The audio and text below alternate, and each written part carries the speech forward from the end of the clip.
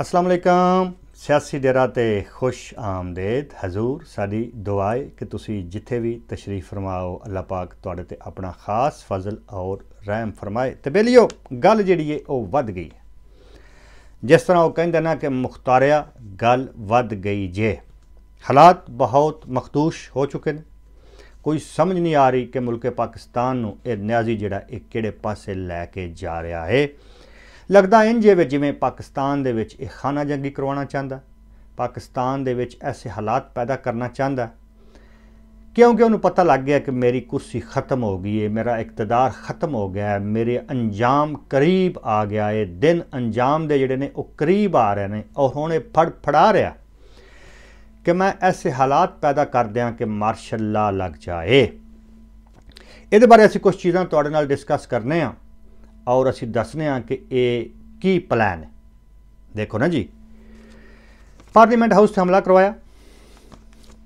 ਆਵਾਮ ਨੂੰ, ਆਵਾਮ ਦੇ ਮੁੰਤਖਬ ਨੁਮਾਇੰਦਿਆਂ ਨੂੰ ਗ੍ਰਿਫਤਾਰ ਕਰਵਾਇਆ। ਉਹਨਾਂ ਤੇ ਤਸ਼ੱਦਦ ਕਰਵਾਇਆ।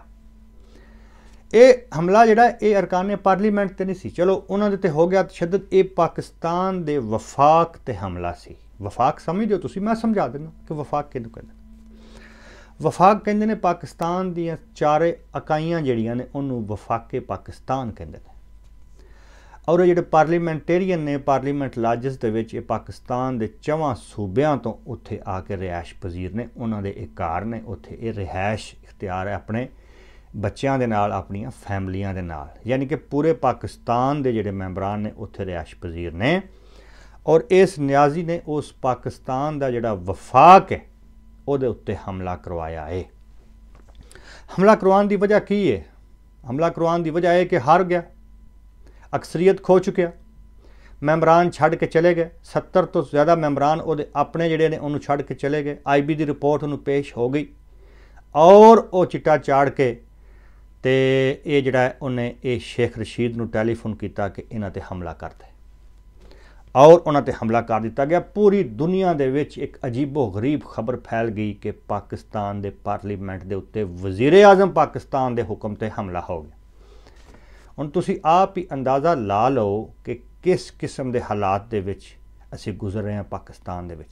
ਕਿ ਆਪਣੀ ਇੱਕ ਕੁਰਸੀ ਦੀ ਖਾਤਰ ਪਾਕਿਸਤਾਨ ਦੇ ਵਫਾਕ ਤੇ ਹਮਲਾ ਕੀਤਾ, ਪਾਕਿਸਤਾਨ ਦੇ ਪਾਰਲੀਮੈਂਟੇਰੀਅਨਸ ਤੇ ਹਮਲਾ ਕੀਤਾ ਪਾਕਿਸਤਾਨ ਦੀ ਇੱਜ਼ਤ ਤੇ ਹਮਲਾ ਕੀਤਾ, ਵਫਾਕੇ ਪਾਕਿਸਤਾਨ ਦੀ ਇੱਜ਼ਤ ਤੇ ਹਮਲਾ ਕੀਤਾ, ਪਾਕਿਸਤਾਨ ਦੇ ਬੱਚਿਆਂ ਦੇ ਮੁਸਤਕਬਲ ਦੇ ਉੱਤੇ ਹਮਲਾ ਕੀਤਾ। ਕਿਉਂ? ਕਿ ਮੇਰੀ ਕੁਰਸੀ ਜਿਹੜੀ ਹੈ ਉਹ ਜਾ ਰਹੀ ਹੈ। ਅਗਰ ਮੇਰੀ ਕੁਰਸੀ ਨਹੀਂ ਰਹੇਗੀ, ਤੇ ਇਹ ਵੀ ਇੱਥੇ ਨਹੀਂ ਰਹਿਣਗੇ। ਮੈਂ ਸਾਰਾ ਕੁਝ ਜਿਹੜਾ ਉਡਾ ਦਿਆਂਗਾ, ਮੈਂ ਸਾਰਾ ਕੁਝ ਖਤਮ ਕਰ ਦਿਆਂਗਾ, ਮੈਂ ਸਾਰਾ ਕੁਝ ਮਲਿਆ ਮੇਟ ਕਰ ਦਿਆਂਗਾ। ਔਰ ਪਾਕਿਸਤਾਨ ਦਾ ਚਿਹਰਾ ਜਿਹੜਾ ਇਹਨੇ ਮਸਕ ਕਰ ਦਿੱਤਾ ਪੂਰੀ ਦੁਨੀਆ ਦੇ ਸਾਹਮਣੇ। ਪਾਕਿਸਤਾਨ ਦਾ ਸਬਜ਼ ਪਾਸਪੋਰਟ ਜਿਹੜਾ ਉਹਦਾ ਇਹਨੂੰ ਕਾਲਾ ਕਰ ਦਿੱਤਾ ਪੂਰੀ ਦੁਨੀਆ ਦੇ ਸਾਹਮਣੇ। ਔਰ ਇਸ ਬੰਦੇ ਨੇ ਨਾ ਸਿਰਫ ਪਾਕਿਸਤਾਨ ਦਾ ਮੂੰਹ ਕਾਲਾ ਕੀਤਾ, ਬਲਕਿ ਆਪਣਾ ਮੂੰਹ ਵੀ ਇਹਨੇ ਕਾਲਾ ਕੀਤਾ, ਇਸ ਨਿਆਜ਼ੀ ਨੇ। ਆਪਣੀ ਕੁਰਸੀ ਦੀ ਖਾਤਰ ਕਿ ਮੇਰੀ ਕੁਰਸੀ ਨੂੰ ਨਾ ਹਟਾਓ, ਅਗਰ ਮੈਨੂੰ ਹਟਾਇਆ ਗਿਆ ਤਾਂ ਮੈਂ ਇਸਲਾਮਾਬਾਦ ਨੂੰ ਅੱਗ ਲਾ ਦਿਆਂਗਾ। ਇਸਲਾਮਾਬਾਦ ਦੇ ਵਿੱਚ ਹੰਗਾਮੇ ਬਰਪਾ ਕਰ ਦਿਆਂਗਾ। ਇਸਲਾਮਾਬਾਦ ਦੇ ਵਿੱਚ ਕਤਲੋਗਰ ਸ਼ੁਰੂ ਕਰ ਦਿਆਂਗਾ। ਔਰ ਫਿਰ ਕੋਈ ਵੀ ਨਹੀਂ ਬਚੇਗਾ। ਔਰ ਮੈਂ ਨਹੀਂ ਰਵਾਂਗਾ ਤੇ ਕੋਈ ਵੀ ਨਹੀਂ ਆਏਗਾ, ਇਸ ਹੱਦ ਤੱਕ ਇਹ ਪਾਕਿਸਤਾਨ ਦੀ ਇੱਜ਼ਤ ਜਿਹੜੀ ਹੈ, ਇਹ ਤਾਰ-ਤਾਰ ਕਰ ਰਿਹਾ ਔਰ ਮੈਂ ਸਮਝਣਾ ਕਿ ਇਸ ਨਿਆਜ਼ੀ ਦੇ ਖਿਲਾਫ ਆਰਟੀਕਲ 6 ਦੇ ਜ਼ਰੀਏ ਗੱਦਾਰੀ ਦਾ ਮੁਕੱਦਮਾ ਜਿਹੜਾ ਉਹ ਦਰਜ ਕਰਨਾ ਚਾਹੀਦਾ ਕਿਉਂਕਿ ਵਫਾਕੇ ਪਾਕਿਸਤਾਨ ਤੇ ਹਮਲਾ ਇੱਕ ਗੱਦਾਰੀ ਹੈ। ਔਰ ਇਸ ਗੱਦਾਰੀ ਦਾ ਮੁਕੱਦਮਾ ਇਸ ਤੇ ਦਰਜ ਕਰਕੇ ਆਈਨੇ ਪਾਕਿਸਤਾਨ ਦੇ ਮੁਤਾਬਕ ਜੋ ਉਹਦੀ ਸਜ਼ਾ ਬਣਦੀ ਹੈ, ਉਹ ਇਸ ਸ਼ਖਸ ਨੂੰ ਦੇਣੀ ਚਾਹੀਦੀ ਹੈ। ਔਰ ਇਸ ਔਰ ਇਸ ਗਨਾਉਣੇ ਜੁਰਮ ਦੇ ਵਿੱਚ ਤਿੰਨ ਬੰਦੇ ਜਿਹੜੇ ਨੇ, ਉਹ ਮੁਲਵਸ ਨੇ।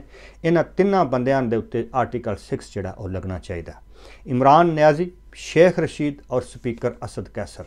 ਇਹਨਾਂ ਤਿੰਨਾਂ ਦੇ ਉੱਤੇ ਇਹ ਆਰਟੀਕਲ 6 ਲਾ ਕੇ ਅਸੀਂ ਦਾ ਮੁਤਾਲਬਾ ਕਰਨੇ ਆ ਸੁਪਰੀਮ ਕੋਰਟ ਅੱਗੇ। ਔਰ ਜਿਹੜੀ ਵੀ ਅੱਗੋਂ ਹਕੂਮਤ ਆਣੀ ਉਹਨਾਂ ਦੇ ਅੱਗੇ ਅਸੀਂ ਮੁਤਾਲਬਾ ਕਰਨੇ ਆ ਕਿ ਇਹਨਾਂ ਤਿੰਨਾਂ ਦੇ ਉੱਤੇ ਆਰਟੀਕਲ 6 ਲਾਇਆ ਜਾਏ। ਔਰ ਇਹਨੂੰ ਆਇਨੇ ਪਾਕਿਸਤਾਨ ਦੇ ਮੁਤਾਬਕ ਜੋ ਸਜ਼ਾ ਬਣਦੀ ਹੈ ਉਹ ਦਿੱਤੀ ਜਾਏ, ਕਿਉਂਕਿ ਇਹਨਾਂ ਵਫਾਕੇ ਪਾਕਿਸਤਾਨ ਤੇ ਹਮਲਾ ਕੀਤਾ, ਪਾਰਲੀਮੈਂਟੇਰੀਅਨਸ ਦੇ ਉੱਤੇ ਹਮਲਾ ਕੀਤਾ, ਉਹਨੂੰ ਗ੍ਰਿਫਤਾਰ ਕੀਤਾ, ਉੱਥੇ ਤੋੜ-ਫੋੜ ਕੀਤੀ, ਉੱਥੇ ਤਸ਼ੱਦਦ ਕੀਤੇ ਆ, ਔਰ ਪਾਕਿਸਤਾਨ ਦਾ ਨਾਮ ਜਿਹੜਾ, ਉਹ ਪੂਰੀ ਦੁਨੀਆ ਦੇ ਉੱਤੇ ਕਾਲਾ ਕੀਤਾ। ਔਰ ਅੱਜ ਦੁਨੀਆ ਕੀ ਸੋਚ ਰਹੀ ਹੋਣੀ ਹੈ ਐਫਏਟੀਐਫ ਕੀ ਸੋਚਦਾ ਹੋਏਗਾ? ਯੂਰਪੀ ਯੂਨੀਅਨ ਕੀ ਸੋਚਦਾ ਹੋਏਗਾ?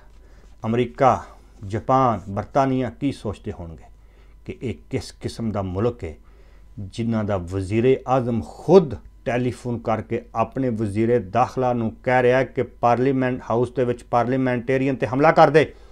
ਉਹਨਾਂ ਤੇ ਤਸ਼ੱਦਦ ਕਰ ਦੇ। ਉਹਨਾਂ ਨੂੰ ਗ੍ਰਿਫਤਾਰ ਕਰ ਲੈ। ਗ੍ਰਿਫਤਾਰ ਕਰਕੇ ਥਾਣੇ 'ਚ ਬੰਦ ਕਰ ਦੇ, ਕਿਉਂਕਿ ਮੇਰੀ ਕੁਰਸੀ ਹਿਲ ਰਹੀ ਹੈ। ਔਰ ਅੱਜ ਪਾਕਿਸਤਾਨ ਦਾ ਚਿਹਰਾ ਜਿਹੜਾ, ਉਹ ਪੂਰੀ ਦੁਨੀਆ ਦੇ ਉੱਤੇ ਮਸਕ ਕੀਤਾ ਗਿਆ ਔਰ ਨਿਆਜ਼ੀ ਦਾ ਮੂੰਹ ਜਿਹੜਾ, ਉਹ ਪੂਰੀ ਦੁਨੀਆ ਤੇ ਕਾਲਾ ਹੋ ਗਿਆ ਪਾਕਿਸਤਾਨੀਓ ਹਜੇ ਵੀ ਵਕਤ ਹੈ।